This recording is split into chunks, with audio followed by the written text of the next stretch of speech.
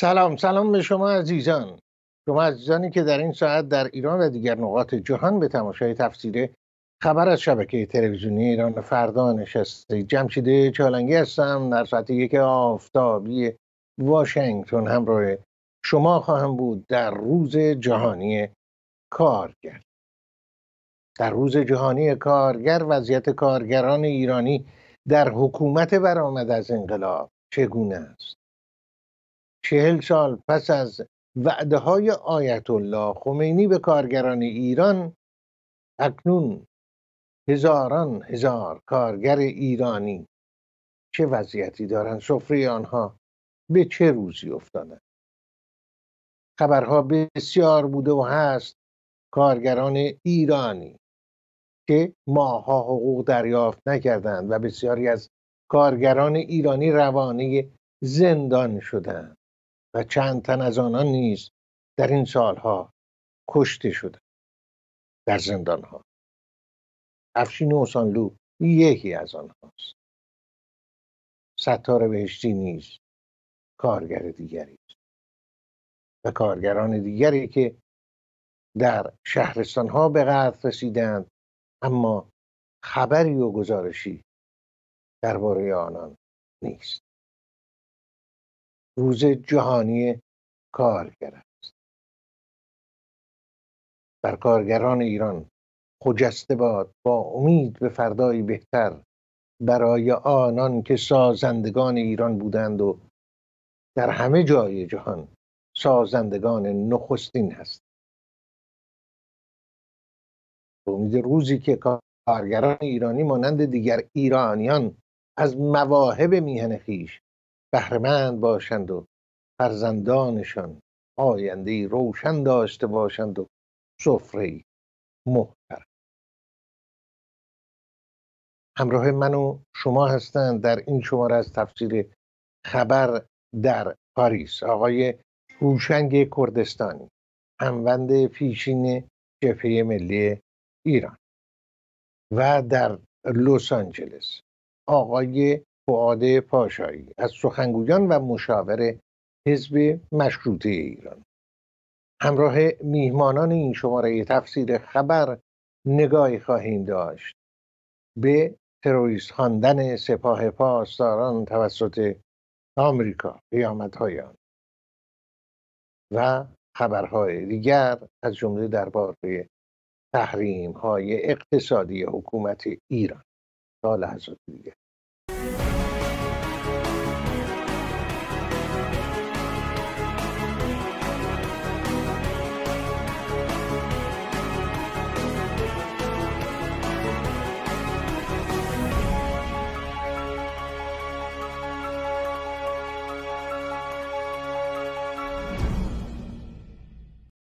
آقای کردستانی سلام به شما در پاریس.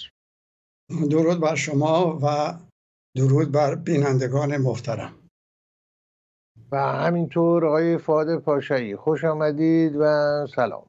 دوستان من هم درود میفرستم به شما به آقای کردستانی و همه بینندگانتون در سراسر جهان. تشکر آقای کردستانی بله چهل سال و چند ماه پس از انقلاب اسلامی هست در ایران. شما وقتی به عنوان یک عضو پیشین جبهه ملی ایران نگاه می‌کنید به این مدت و وضعیتی که انقلاب وضعیت کارگران رو که تحویل گرفت و اکنون چه وضعیتی هست به ما و بینندگان تفسیر خبر چه خواهید گفت؟ تردید نیست که این چل سال تاریکترین دوران تاریخ معاصر ایرانه. گرچه اون آقایی که ادعا داشت رئیس جمهور بشه دوران طلایی امام یاد می‌کرد ازش.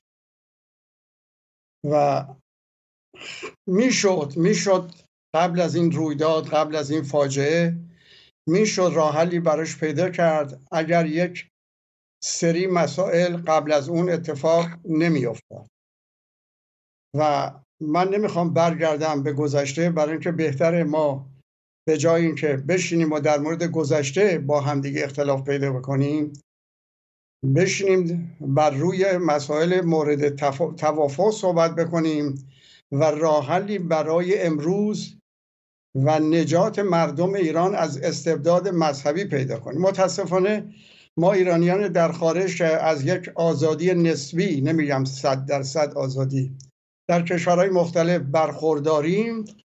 هنگامی که دور هم میشینیم برای ایران و مردم ایران فکر بکنیم یا روی مسائل گذشته به بنبست می‌رسیم و یا بله. بحثمون راجع به آینده که هنوز نمی‌دونیم کی به وجود میاد کی این آینده شکل می‌گیره در نتیجه هر دو مورد به عدم توافق می‌رسیم و ناگزیر از هم بدون نتیجه مثبت جدا میشیم بدون اینکه برسیم به امروز. یعنی ما امروز و شرایط وحشتناک مردم ایران رو به ویژه کارگران زحمتکشمون رو که بدترین شرایط رو دارن و می‌دونید همین امروز لابد خبر داری که کارگران شرکت واحد در رایانه تهران جمع شده بودن به همدیگه. شیرینی تعارف کنن حمله کردن و اینها رو به شدت مجروح کردن و اون شیرینی ها هم زیر پا خور کردن. و از نظر بیمه می‌دونید که کارگران ما اغلب همشون همگی بیمه نیستن. اتفاقی که در تونل شمال افتاد و سه نفر کشته شدن و عده هم زخمی شدن اطلاع دارید. متاسفانه پیش اومده کارگرانی که جون باختن یا زخمی شدن یا معلول شدن برای تمام عمر از بیمه از بیمه های اجتماعی که حق طبیعی کارگرانه برخوردار نیستند. خب این شرایطیه که کارگران ما دارن و شرایط معیشتی که مردم ما دارن توجه بکنید وقتی که آیت الله خمینی به عاشقان ایران و ملیگرایان ایران میگه مرتد دیگه شما فکر بکنید نسبت به بقیه بخش های جامعه یا لایه های جامعه چه می‌کنن. اون چه من می‌تونم بگم اینه که در مورد گذشته من آمادگی دارم بگیم چه شد که این بلا به سر اومد این فاجعه اتفاق افتاد. چون در رویدادهای بزرگ تاریخی نمیشه اون رویداد با یک عامل به تنهایی تفسیر کرد.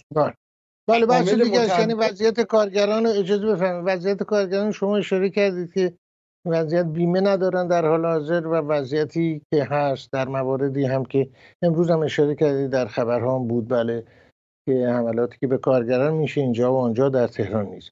اجازه بفرمایید آقای فاد پاشایی تفسیرشون بشنوید.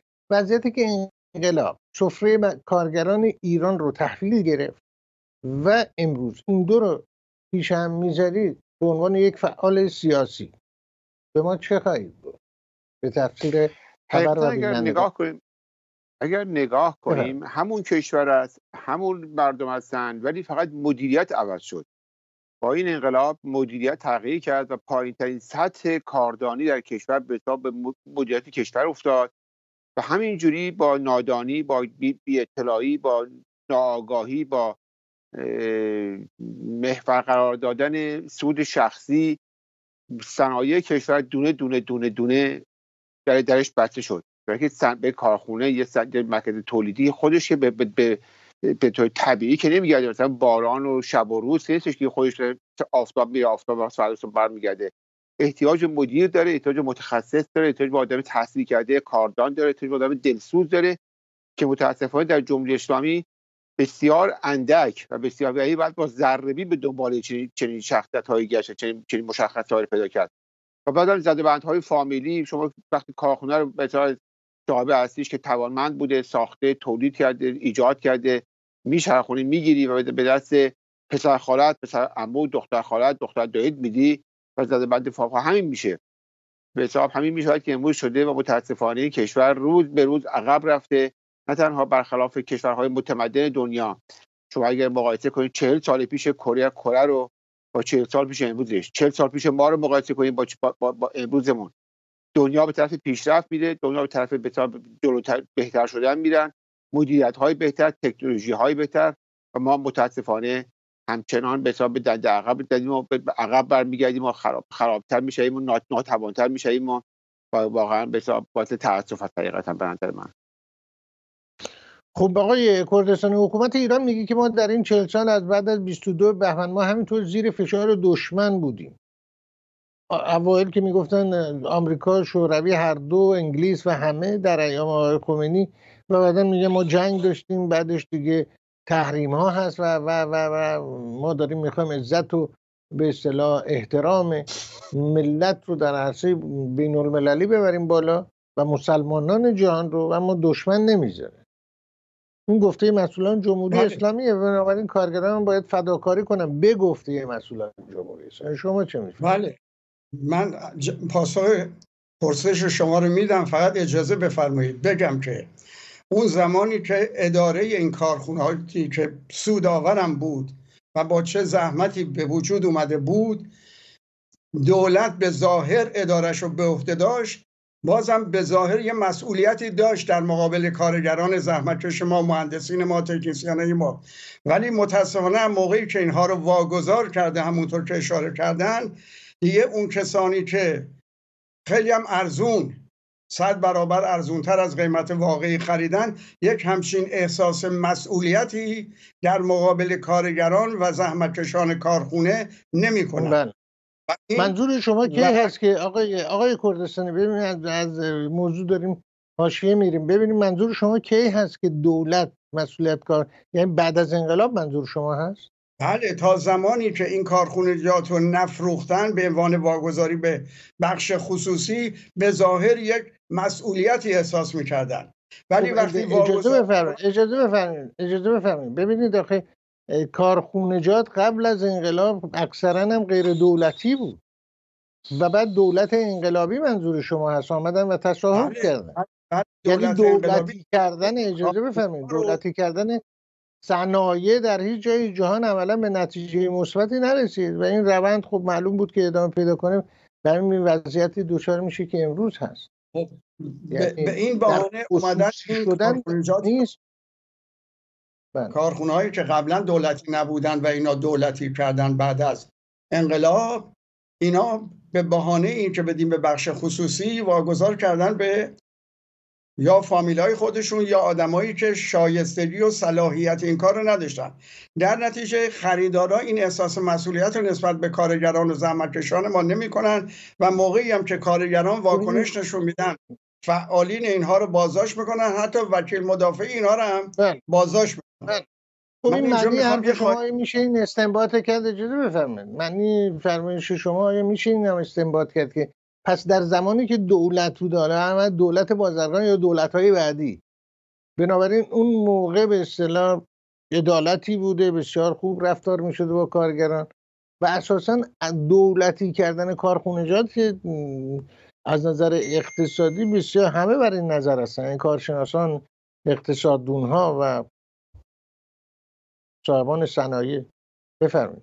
بله ولی واگذار کردن به بخش خصوصی به این شکلی که اینها عمل می‌کنن در سایر کشورهای بله. پیشرفته نیست به این شکل.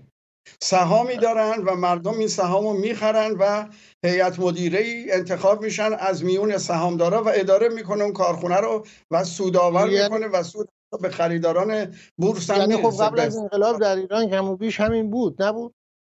بله همین بوده. من الان این مقطعی که اینها شروع کردن به واگذار کردن کارخونه ها به یک سری عوامل که شایستگی ندارن و اونم با قیمت بسیار ناچیز من دارم در این مورد بحث می‌کنم و می‌خوام از فرصت استفاده کنم و خواهش کنم از تمام هموطنان ما در خارج به ویژه در خارج از کشور چه فردی چه گروهی چه دست جمعی اعلام بکنن و کوتاهی نکنن و اعلام بکنن به دلیل این که این دولت دولتی است استبدادی و مورد تایید 90 درصد مردم ایران نیست. بنابراین ما فروش این کارخونه ها رو به خریداران به رسمیت نمی‌شناسیم و اینها در آینده تعقیب خواهند شد. اینو با صدای بلند به گوش مردم جهان برسونیم و کارگران رو امیدوار بکنیم که ما در خارج داریم از خواستای بر حقشون حمایت می‌کنیم. آقای پاشایی آیا این راه حل برای حل مسائل کارگری در ایران کارخونجات و اونچه که آقای کردستانی اشاره کرد. اگه باید به گوش مردم جهان برسه همین یک مورد یا موارد و چه فایده ای داره اساسا به گوش مردم جهان رسه اجازه بفرمایید من معتقدم که به حساب در ایران آینده حتما ما به حساب باید خب خیلی از موارد رسیدگی بشه. تنها این مورد کارخانجات نیست در موارد ممتدی باید به حساب دزدی ها به چپاول ها به رسیدگی بشه و حقوق مردم بهشون برگردونده بشه. برای اینکه در حکومت جمهوری اسلامی ظرف 40 سال گذشته هیچ دری بر پاشنه خودش نچرخیده. چند نظر قضایی چند نظر اقتصادی چند نظر سیاسی هیچ دری بر پاشنه خودش نچرخیده. شما کنید به بخش فعالین سیاسی فعالین مدنی وقتی می‌گیرن زندان بکنن یا فعالین محیط زیست امروز معلوم شد که به بسیار از این فعالین محیط که امروز در گرفتن زندان کردن اعدام کردن به چه دلایلی بوده؟ و دلایل فساد فقط نه جاسوسی بوده نه خبرچینی بوده بلکه کاری بوده که سپاه می‌کرده. طبیعی که در بخش کارگری هم ما با همین مشکل مواجهیم وقتی کارخونه فولاد اهواز رو یا وقتی کارخونه به کارخانه دیگر رو به قیمت بسیار نازل میفروشن بعد صاحب مالک جدید به دلیلی که فقط اینو تبدیلش کنه به پول و اون زمین و ملک و محل کارخونه رو به حساب تبدیل کنه به ارز کارگر رو بیکار می‌کنه. به بخش عمده از فرماندهان سپاه بود در کار واردات صادرات به جای اینکه به تولید بپردازن به ایجاد کار بپردازن در کارخونه تعطیل می‌کنن که اون جنس تولید نشه و بتونن همین جنس رو از چین وارد کنن با قیمت بسیار ارزان تر و سود بکنن و نقش دلال رو بازی کنن به جای اینکه نقش کارآفرین رو بازی کنن. طبیعی ما با چنین مشکلاتی مواجه هستیم و در ایران آینده باید به همین حال رسیدگی بشه بقیده من خیلی کوتاه بفرمایید آقای کردستانی در همین مورد چون به هر حال مردم جهان گرفتاری های دیگری هم دارن و در مورد ایران هم بسیار گفته شده. ولی خب می‌بینین همون فرانسه که شما هستین و کشورهای اطرافش گاه سود خودشون در نابود شدن صنایع کشورهای دیگه می‌دونن. صنایع به هر حال رو به رشدی که ایران داشت عملا به نحوی نابود شد. تولیدات به نزدیک بله، صفر بله. به هر روی ما در هر موردی می‌تونیم اعتراض بکنیم و اعتراض منطقی داشته باشیم. به گمان من انجام دادنش بهتر از سکوته. اما در مورد پرسشی که فرمودید که جمهوری اسلامی از همون موقع یا دشمنش روسیه شوروی اون روز بود و آمریکا و انگلیس و به قول خودشون نه شرقی نه غربی که ما نه اونا با اونا هستیم نه با اینا عملا نشون دادن که هم با اون ور هستن هم با این ور. باید بگم که نظام های دیکتاتوری در تمام دنیا همیشه بایستی یه دشمن برای خودشون بسازن. هیچ نظام دیکتاتوری نیست از جمله جمهوری اسلامی که از روز اول نگه ما دشمن داریم و داریم با دشمن مبارزه می‌کنیم و احتمالا هم پیروز میشیم که این شعار بیشتر مصرف درون خودشون رو داره. یعنی افرادی که با اینا هستن حالا یا به دلیل نیاز مالی یا به دلیل اعتقاد به اونها میگن بله ما دشمن داریم و شما باید فداکاری کنیم ولی بدونین که در اثر در سایه فداکاری شما ما دشمن رو نابود می‌کنیم. و یکی از شیوه های نظام های استبدادی در طول تاریخ اینه که بین مردم در جامعه اختلاف میندازن. و این اختلاف میان مردم رو یه عامل بقای حکومت خودشون می‌دونن. به همین دلیله که ما شاهد بودیم سالهاست که جمهوری اسلامی هزینه های زیادی می‌کنه و عواملی رو در خارج میفرسته که در میون آزادی خواهان خارج از کشور نفاق ایجاد بکنه. حالا درون رو به دلیل اون حکومت زور می‌تونن سرکوب کنن ولی در خارج چون اون قدرت رو ندارن که به کار ببرن سعی می‌کنن اختلاف بندازن. بنابراین ما باید آگاه باشیم. کسانی که بین صفوف آزادی خواهان در خارج از ایران اختلاف میندازن به امکان زیاد معمورین دولت جمهوری اسلامی هن. متاسفانه می‌خوام اشاره کنم. ما آزادی خواهانی که برای نجات مردم در ایران داریم فعالیت می‌کنیم کردیم و هنوز هم ادامه میدیم گهگاه نادخواسته و ناآگاه. وقتی به این اختلاف دامن می‌زنن ناخودآگاه عملا به سود جمهوری اسلامی عمل می‌کنن به این دلیل که همواره این موضوع مطرح شده یک عامل بزرگ بقای استبداد مذهبی در ایران نبودن یک اپوزیسیون متشکل و همبسته است. خب ببینید آقای فواد پاشایی اون چه را که گفتن اپوزیسیون متشکل یک اتفاقی افتاد و صحبت اتحاد زیاد میشه در مورد ایران. ولی من بارها اشاره کردم که یکی از اتحادهای بزرگ تاریخ سیاسی کره زمین به طور کلی در ایران اتفاق افتاد. در سال 57 از احزاب چپ ریز و درشت گروه های چپ در خارج از ایران در کنفدراسیون دانشجویان ایرانی. شریک های فدایی خلق حزب توده انقلابیون ماویست و همه مجاهدین جبهه ملی. روشنفکران به اصطلاح سرشناس که به این عنوان بودند روزنامه نگاران بسیاری از نویسندگان. و و و. همه و همه متحد شدن با روحانیت هم. و نتیجهش این شد.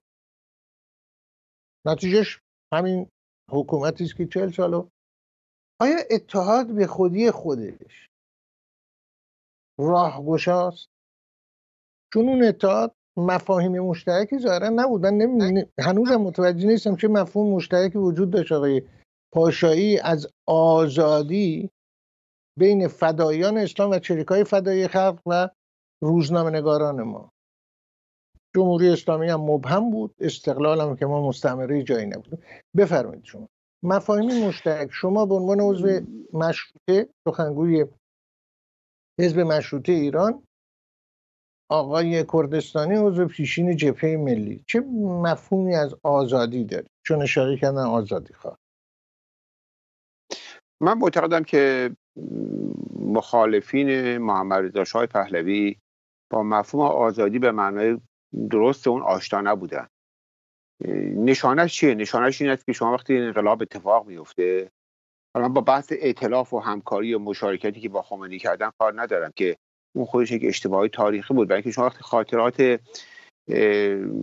به حساب چپ, چپ ایران رو می‌خونید که از زندان های شاه بودن خودشون در خاطراتشون می نویسن که بچه های مسلمانی که در زندان بودن حاضر نبودن با ما در یک سفره غذا بخورن. برای اینکه معتقد بودن چپان نجسن حاضر نبودن لباسشون در زندان روی یک بند با ما آویزان کنن. برای اینکه معتقد بودن ما نجسیم و اون بندی که لباسمون آویزان می‌کنیم کثیف میشه. چطور این به حساب نیروی چپ یا نیروی نیروهای توقع داشتن وقتی با اینها با این مسلمان ها اعتلاف می‌کنند؟ در آینده به دموکراسی برسن. کسی که از حتی لباسش رو با یک کسی دیگه روی بند آویزون نمی‌کرد می‌گفت لباس من کثیف میشه که به لباس تو بخوره. طبیعی است که در این در این ائتلاف یک نگاه سیاسی درست نبود. همه متحد شدن برای که شاه رو زمین بزنن بدون که بدونن چی می‌خوان بیارن بدون که بدونن چه چه چیزی می‌خواد اتفاق بیفته بعد از اون. طبیعی بعد از اون هفته بعد از اون وقتی بردن اولین چهار نفر رو در پشتوان اعدام کردن تمام گروه های سیاسی در این مورد سکوت کردن. اونجا هیچ کدوم از این گروه های سیاسی نیامدن در به خاطر دموکراسی به خاطر آزادی به خاطر به حقوق بشر بیستن بگن آقا ما انقلاب نکردیم که ببریم مردم رو سر پشتوان اعدام کنیم. من معتقدم از اونجا از هفته بعد از انقلاب حکومت به سوی رفت که دیگر راه بازگشت نداشت به طرف بسیار سرکوب جدی. همه در برابرش سکوت کردن. و بعد وقت همین دلیل بود که خود دونه دونه خمینی و رژیمش به دنبال گروه های سیاسی بعدی رفتن گروه بعدی رفتن گروه بعدی رفتن و همه را دمی الان الان شما این تجربه دارید آزادی که برای آینده ایران در نظر دارید چه نوع آزادی هست؟ چه هست؟ چه حدودی داره بر همین پایه و مبنا و بر همین تجربه که به تلخی که همه ما گرفتیم امروز به حساب ما در تلاش هستیم که با بخش عمده نیروهای به حساب جمهوری ها و نیروهای غیر غیر طرفدار پادشاهی اعتراف کنیم همکار نه که اعتراف تشکیلاتی بلکه همکاری کنیم برای سرنگونی حکومت. در این همکاری ها خب امروز مثلا با, با بخش از سکولار دموکرات ها بخش از نیروهای جمهوری ها در حال گفتگو هستیم و نشستیم و به تا سالها داریم با هم کار می‌کنیم بیانیه مشترک دادیم و بین خودمون به توافق رسیدیم.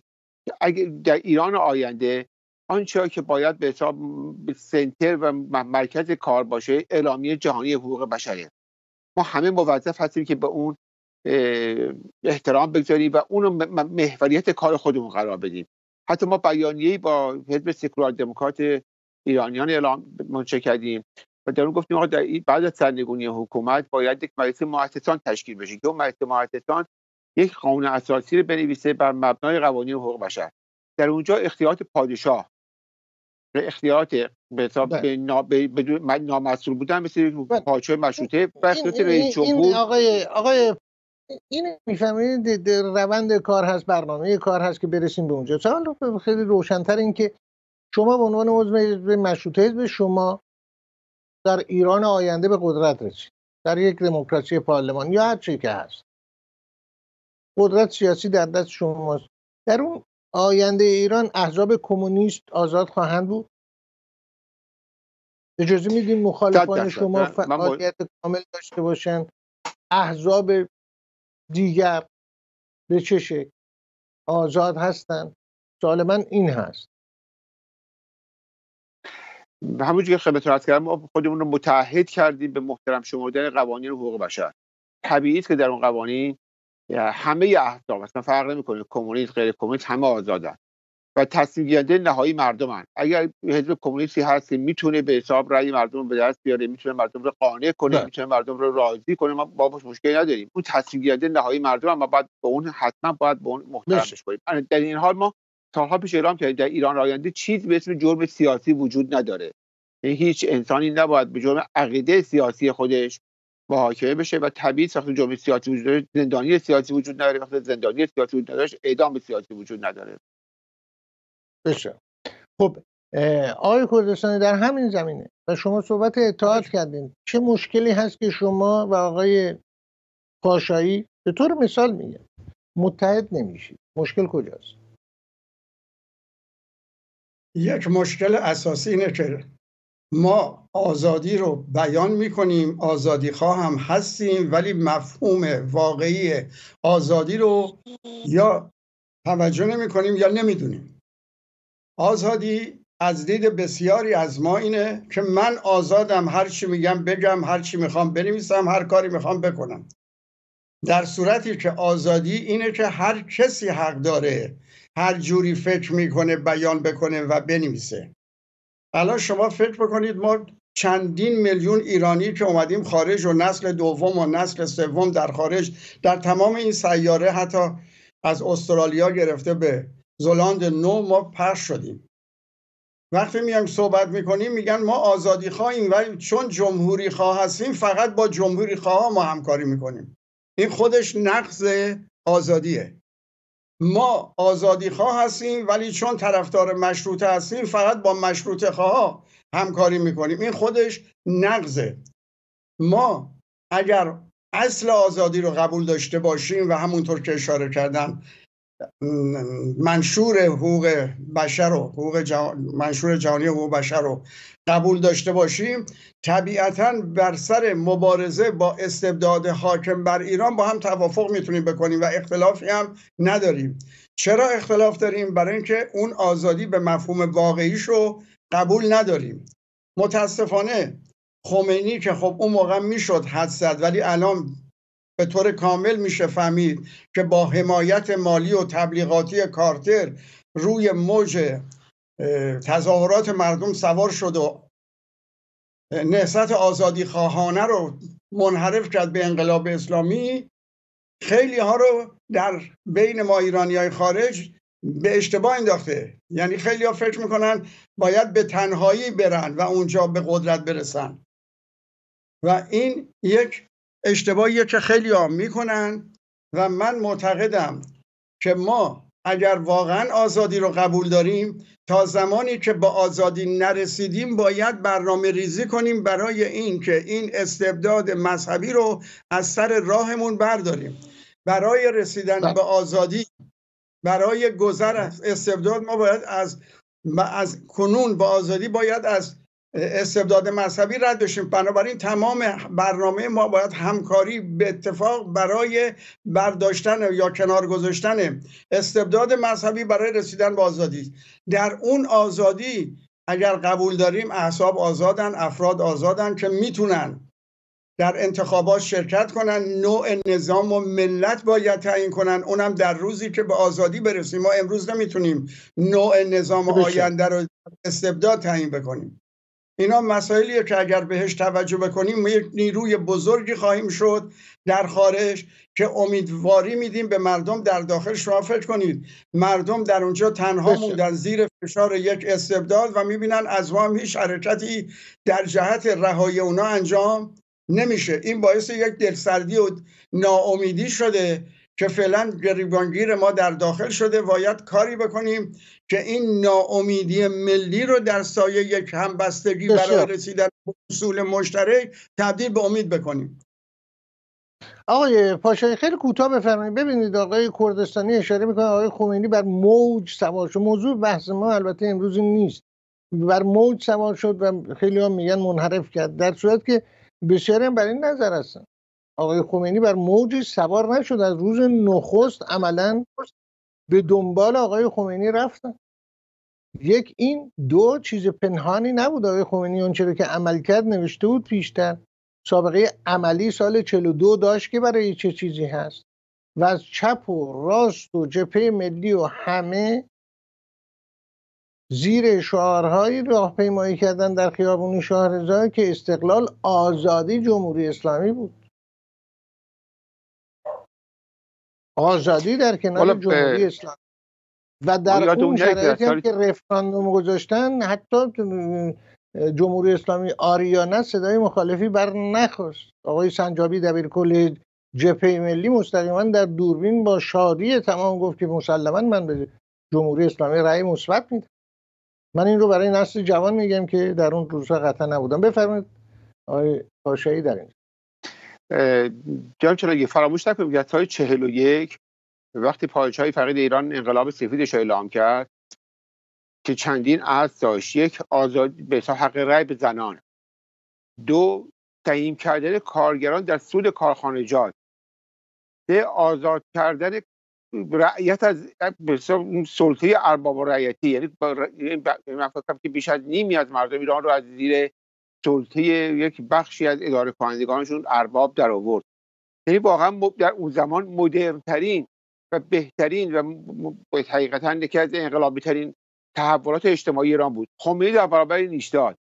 یعنی خمینی با آزادی زن مخالفت کرد خمینی با اینکه کارگر در سوی کارخانجات شریک مخالفت کرد خمینی با اینکه به حساب سیستم ارباب و رعیتی به هم بخوره مخالفت کرد. و این پرونده این آدم بود. حالا با کار ندارم که سال 41 هم بخشی عمدی از نیروهای به حساب روشنفکر به این پیوستن در خیابون اتوبوس آتیش زدن بانک شکستن که چرا این حرفا اعلام شده؟ ولی این پرونده خمینی بود وقتی سال 57 آمد با اون با اون توشه آمد. من معتقدم بخش سیاسی میدون به نفع کی داره شعار میده؟ و آگاهانه اتفاق افتاد. خمینی که از تنها کسانی بود که به حساب رهبری انقلاب از قبل پیش واگذار شده بود و مشخص بود که او رهبری انقلاب است و او که داره می‌کنید همونجور شما فرمودید در کتاب های خودش قبلا در مورد ولایت فقیه نوشته بود در مورد به حساب حتی نوشته بود که با چیزی به اسم مجلس احتیاج نداریم بلکه مجلسی از فقها تشکیل میشه که به نظارت سریع قرآن نظارت کنه مراقب باشه فقط. تمام اینها رو قبلا نوشته بود خمینی. این آنچه که اتفاق افتاد غیر قابل به پیش میشه پیش بینی کرد. با, با چشم آگاه اگه نگاه می‌کردیم برات آقای پاشایی آقای کردستانی پی می‌گیریم. تفسیر خبر رو این نکته هم باز من اشاره بکنم که روحانیت شیعه در عرصه سیاسی ایران. همواره حضور داشته فعال بوده. چه در جریان مشروطه جنبش مشروطه و چه بعد در جریان ملی شدن نفت آیت الله کاشانی و بقیه رو داریم که حضور داشتن. و این نبود که آقای خمینی یک شبه از راه رسیده باشه و انقلاب رو منحرف کرده باشه. همراه شما عزیزان خواهیم من نگفتم شبه. ببینید چالنجی. نه نه نه. چون منظور من شما نیستید. منظور این هست که گفته میشه بسیاری میگن که بر این نظر هستن که آقای خمینی به اصطلاح انقلاب رو منحرف کرد. انقلاب انحرافی درش به وجود نیومد. خواستش خیلی روشن بود. و به همون خواستم عمل کرد. بفهمید. اگه سخنی هست بله من معتقدم اگر این اصل درسته که پیشرفت اقتصادی آزادی میطلبه اگر آزادی پیشرفت اقتصادی میاره پس این دوتا با همدیگه در ارتباط تنگن.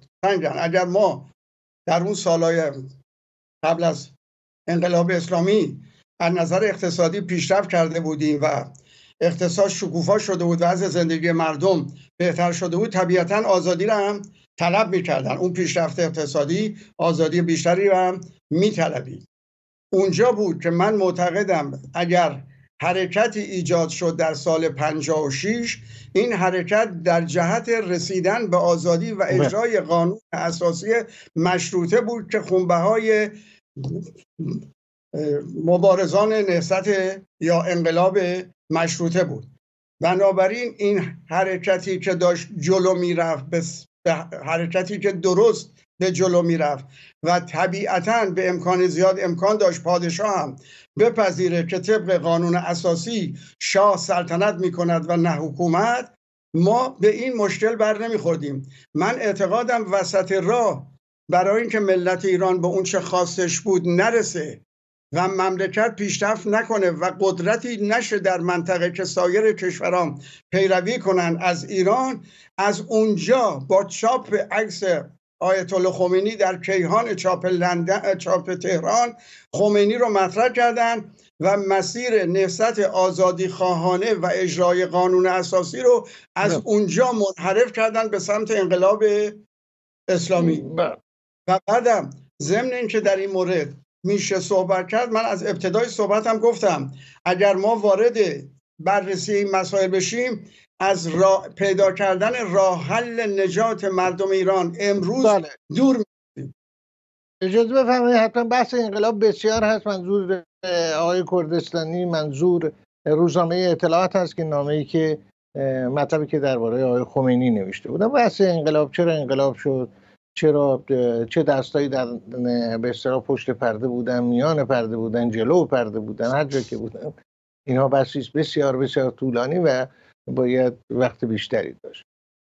کی خواهیم گرفت خبر رو از شبکه تلویزیونی ایران فردا همراه با دو میهمان این شب تفسیر خبر آقای فاد پاشایی مشاور حزب مشروطه ایران و آقای هوشنگ کردستانی عضو پیشین جبهه ملی ایران.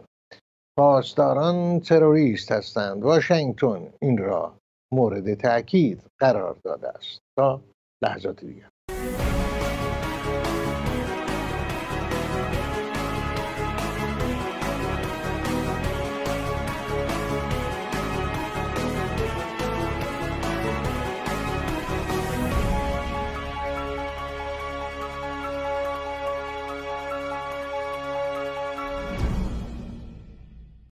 آقای پاشایی همونطور که در جریان هستید آمریکا واشنگتن سپاه پاسداران رو یک نهاد تروریستی توصیف کرده.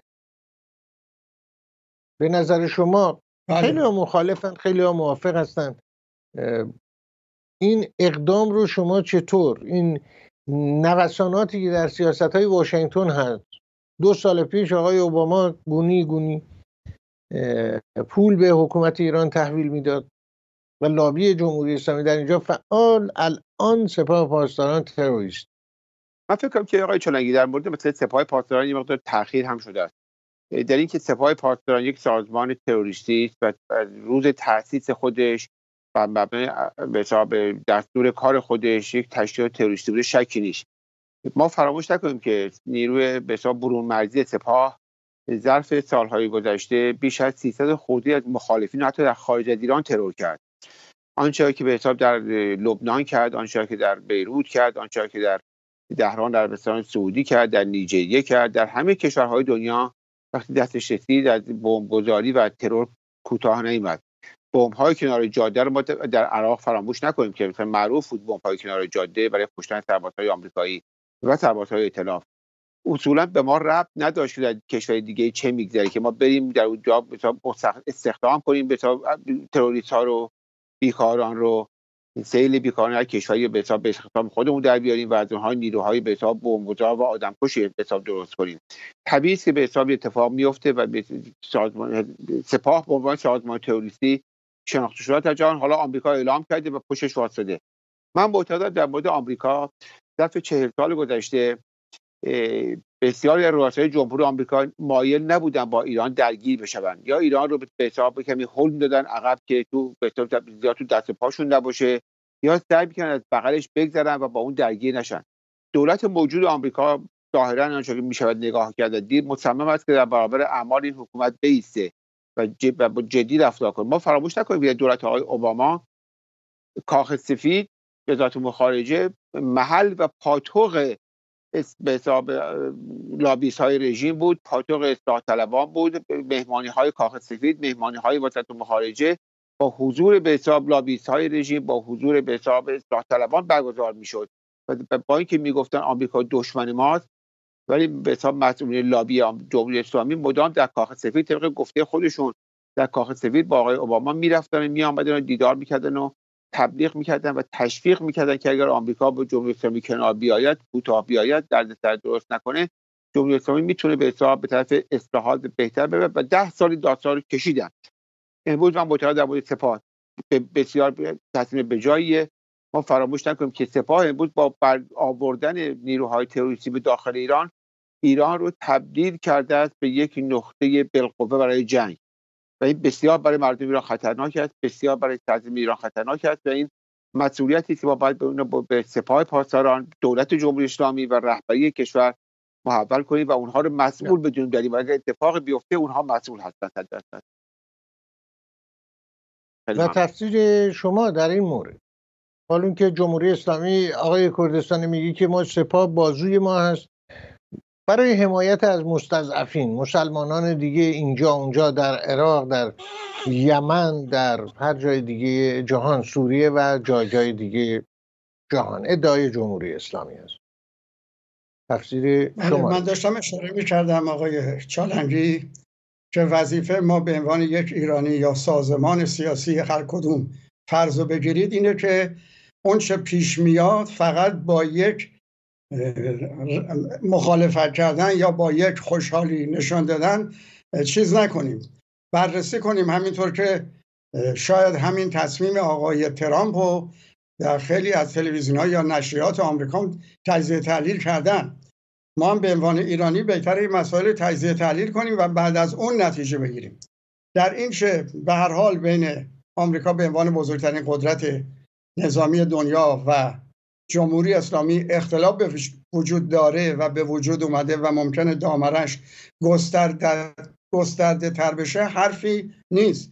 و ما از اینکه بتونیم از این تضادها به سود رهایی ایران استفاده کنیم در اون من معتقدم که این کار باید کرد. اما سالایی هم برای من مطرح به عنوان یک ایرانی که این سپاه پاسداران رو که سالهای اولیه شکل گرفت و شما می‌دونید که نمودار سازمانی شد چه کسی به خمینی تقدیم کرد که الان سالها در خارجم به عنوان اپوزیسیون صحبت می‌کنه؟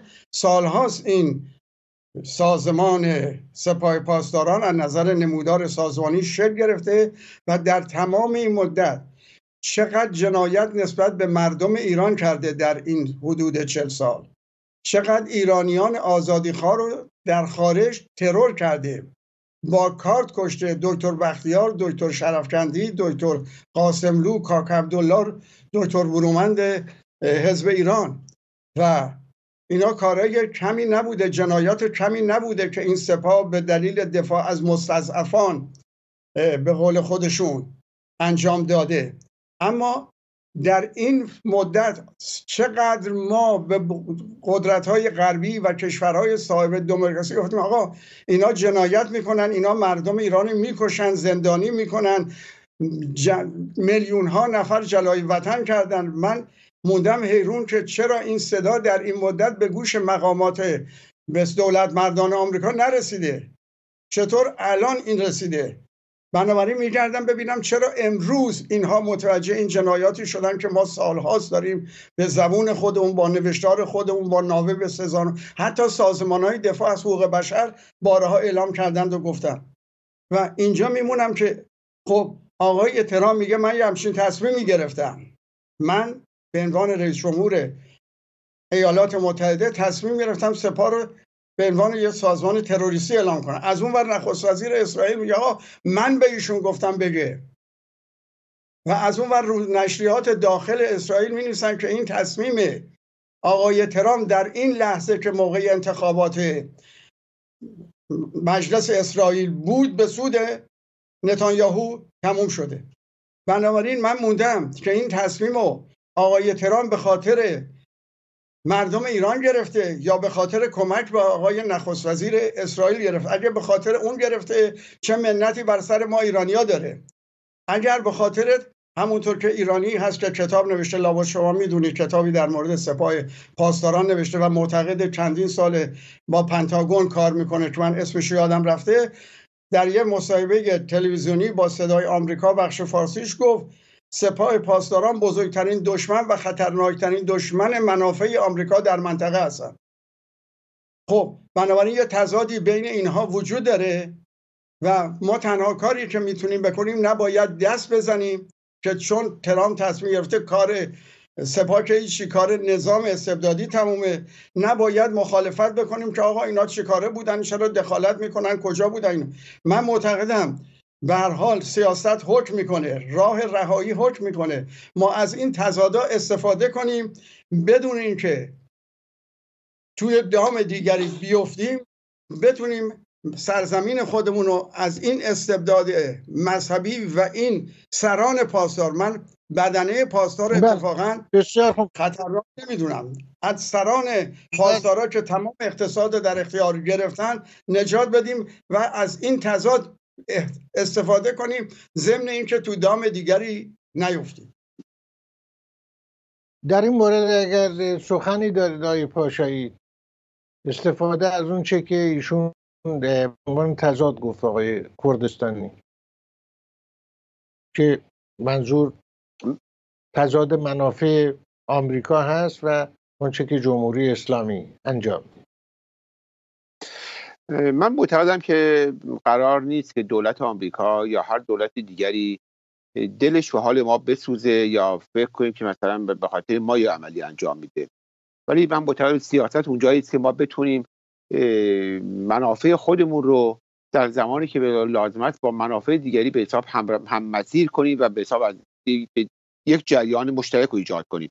طبیعی که آمریکایی ها یا ترامپ به خاطر خودش به خاطر منافع خودش به خاطر نگاه به حساب استراتژیک خودشون این عمل انجام میدن. تردید نیست که سپاه یکی از دشمنان اصلی به حساب یا امی در خاور میانه هست در هر کجای در چه در لبنان چه در یمن چه در سوریه چه در عراق.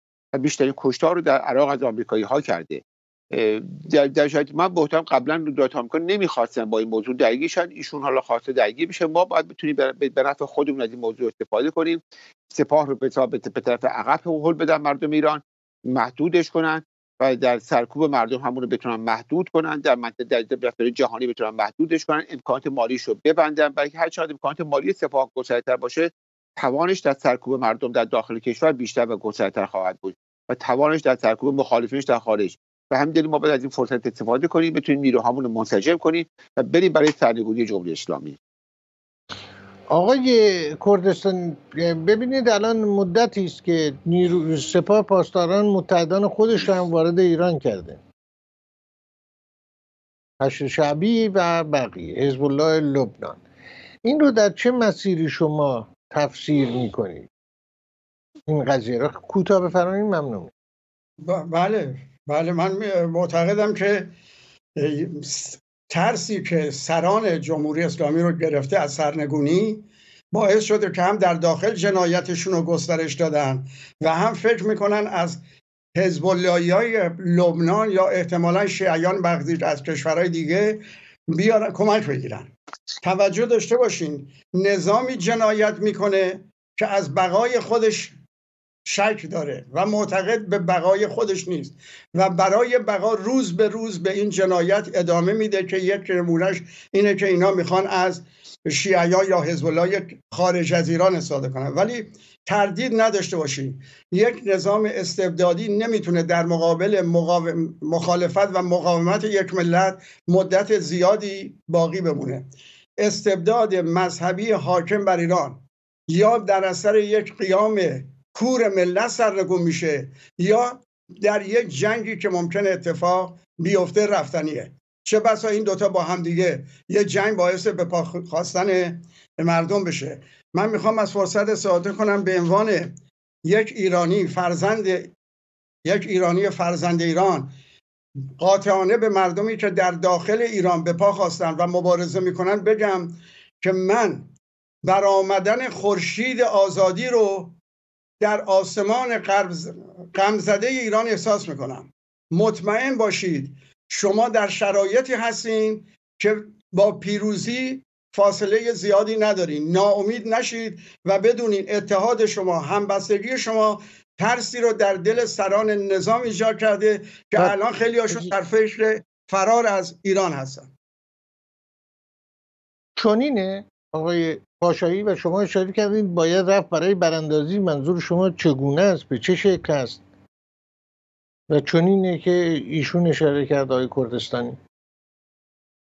من فکر خیزش هایی که امروز در ایران صورت گرفته نارضایی هایی که به اوج خودش رسیده و مردمی که به حساب دیگر تحمل رژیم ندارن طبیعی که خیزش ها بی اثر نیست. به هم ملحق خواهد شد. بخش کارگران بخش معلمین بخش به حساب پرستاران پزشکان دانشگاهیان همین هم مطمئنه تا چند ماه آینده به هم ملحق خواهند شد و یک خیزش عمومی رو ایجاد خواهند کرد. تحریم کردن سپاه محدودتر می‌کنه دست سپاه رو در سرکوب مردم. نقش نیروهای خارج نیروهای ایرانی که در خارج کشور زندگی می‌کنن در مورد لابی کردن در دنیا و اینکه ما تلاش کنیم که به حساب جهان رو به پشتیبانی از جنبش مردمی ایران به حساب وادار, وادار کنیم تحریک کنیم فشار بذاریم و اونها رو پشت این جنبش بیاریم. همه اینها مجموعا می‌تونه به حساب کمک کنه به سرنگونی حکومت و در این میان نقش به حساب فعالین سیاسی که بتونن دستشون در دست همدیگه بگذارن و با همدیگه یک پلنی رو برای آینده ایران داشته باشیم که بتونیم مطمئن باشیم در این دوران گذار همه ما چه جمهوری ها چه طرفدار پادشاهی چه مشروطه چه چپ با هم به هر کدوم به اندازه سهمی که در مردم ایران با پشتیبانی می‌کنن در این در این خیزش نقش داشته باشیم و با هم کار کنیم و بتونیم یک آینده بهتری برای مردم ایران رقم بزنیم بقیه من. سپاسگزار هستیم آقای فاد پاشایی مشاور و سخنگویان حزب مشروطه ایران در لس آنجلس کالیفرنیا. و سپاسگزار هستیم آقای اوشنگ کردستانی عضو پیشین. یا آنگونه که خود ایشون مایل هستن گفته بشه همبند پیشین جبهه ملی ایران در پاریس. پاریس همواره زیبا. که مطمئنم الان هوای بهاری خوبی داره. اینطور نیست آقای کردستانی؟ تقریبا همینطوره. تقریبا بله، یعنی هوای پاریس بله. همیشه متغیره. برای پاریس با هوای متغیر همواره زیبا بوده و هست. و لس آنجلس هم که همیشه بهار است آقای. بله. بله همیشه بهار مردمانی, مردمانی در جهان آزاد در جهان آزاد بدون اینکه از خونه که بیرون میان کسی گرفتاری براشون ایجاد کنه چرا چون این لباسی پوشیدید یا چون این آرایشی کردید. ابتدایی ترین آزادی ها آزادی پوشش که سعدی آزادی شادی. بله. سعدی آزادی از سعدی استفاده کنیم در حسن خ... برای حسن خطاب که گفت بهشت آنجاست کازاری نباشد کسی را با کسی کاری بله. نباشد. این سعدی دوی سو استفاده است بله. بله سعدی. در سپاسگزاریم میهمانان تفسیر خبر. به امید دیدار در شماره های آینده تفسیر خبر. به پایان برنامه رسیدیم. به اتفاق همکاران عزیزم امین گرامی و علی عزیز کارگردان فنی برنامه برای شما روزگار خوشی رو آرزو می‌کنیم. با امید فردایی بهتر.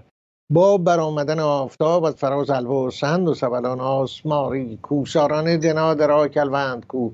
زغرس و تفتان و تابشان بر فلات ایران زمین. روزگارتان خوش تندرستیتان پایدار باد. ایران هرگز نخواهد